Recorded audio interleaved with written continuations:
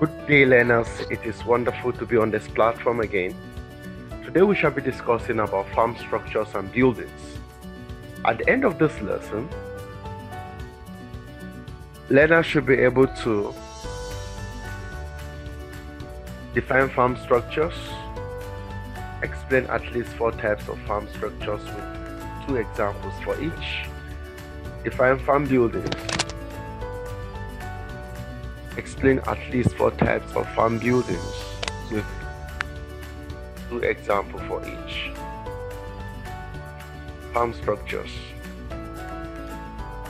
Farm structures are immovable, simple, and moderate frameworks which are not machines built to make certain farm operations easier. They are classified according to their uses, that is, farm structures are classified according to their uses. Classification of farm structures and their uses.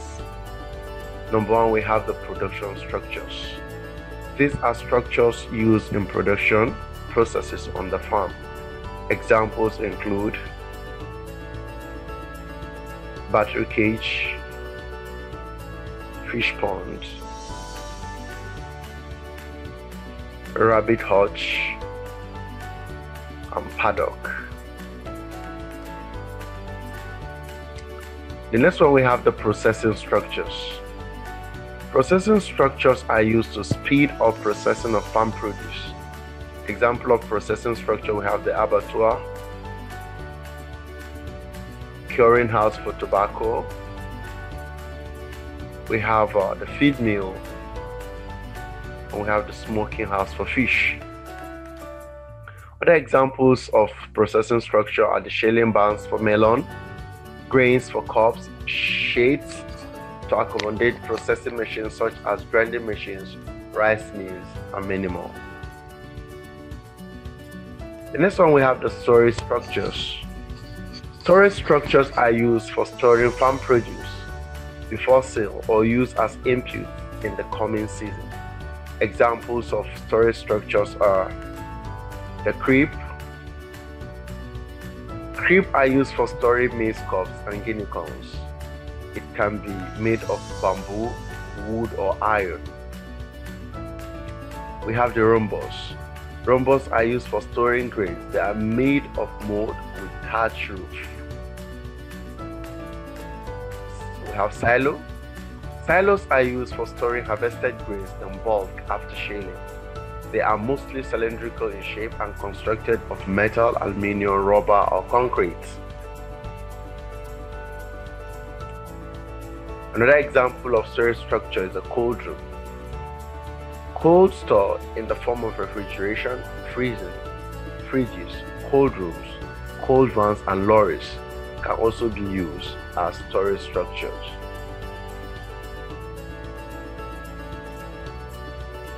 We have the bins, storage bins. Storage bins are small plastic or metal container for storing grains. We have the barn. Barns are used to store yams and cocoyam. The yam tubers are tied and may are tied one above the other on stakes. The next farm structure is the shelter structures.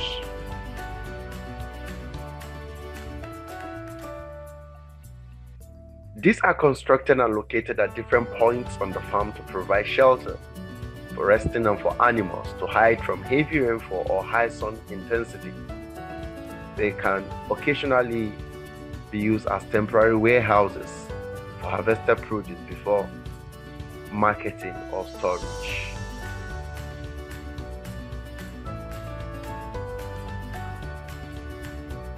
Number five, we have the maintenance structure.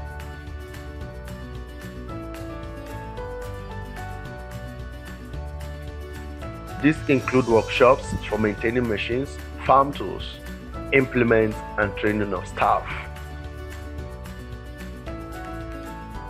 We have now the utility structures.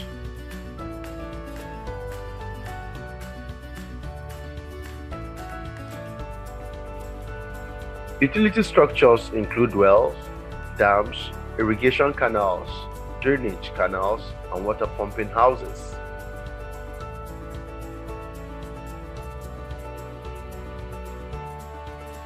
Farmstead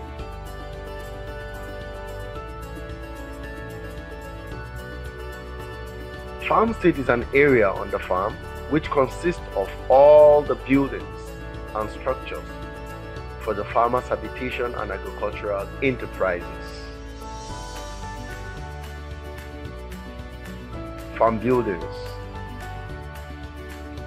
These are more elaborate constructions due to serve more than one purpose or function. Classes of farm buildings and their uses. Number one, we have the farmer's dwelling staff, the farmer's dwelling or staff quarters. These are houses providing accommodation for farmers and workers. This enables the farmers to attend to crops and animals when needed.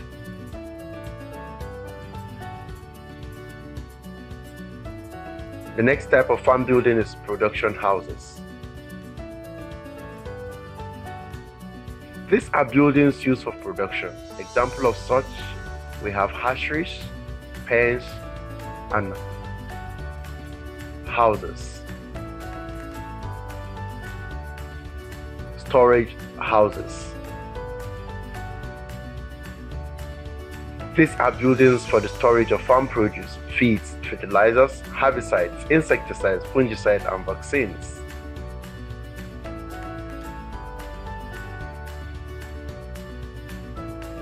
We have the farm offices.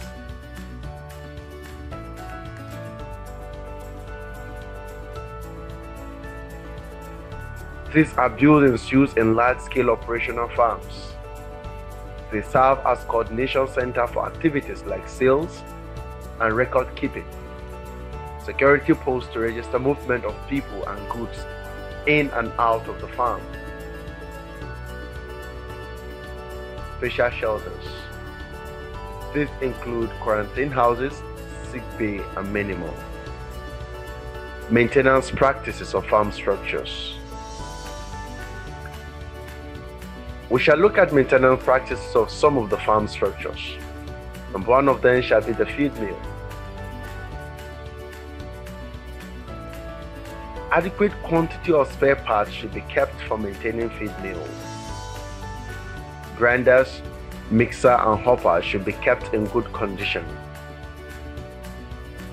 They should be cleaned regularly. The next farm structure we shall be looking at is a silo. Silos should be thoroughly inspected after erection to ensure that they are watertight and reasonably gas tight adequate quantity of spare parts for maintaining mechanical system of silo should be kept. Whenever silo is empty, it must be cleaned out. Working area around the silo must be kept free of residue and dust to reduce the threat of insect and rodent infestation. Broken sheet of a silo wall should be properly replaced.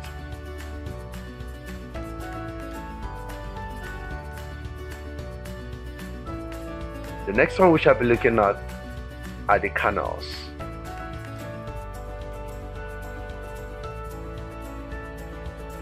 Canals should be inspected for weed growth and silt deposit and be kept clean for free flow of irrigation water.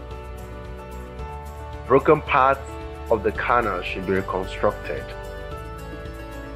Open block irrigation and drainage canal Maintenance practices of farm buildings. We shall be looking at some of the general maintenance practices of farm buildings. Repair and replace leaking roofs of offices, residential houses, workshops, poultry houses, etc. properly. Repair cracks on the walls and floors. Repair or replace damaged or broken doors, windows, ceiling and fittings. Floors of animals' pens should be cleaned regularly. Apply preservatives such as solignum on woods to prevent damages by termites and other insects. The painting and painting of the houses should be done regularly or periodically.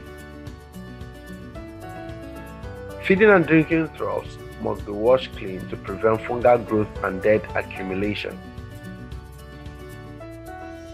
Assessment What are farm structures? List five types of farm structures with three examples for each. What are farm buildings? List four types of farm buildings you know. Explain four ways of maintaining farm buildings. If you find it difficult to answer this assessment question, you can go over the video again. Thank you for being here today.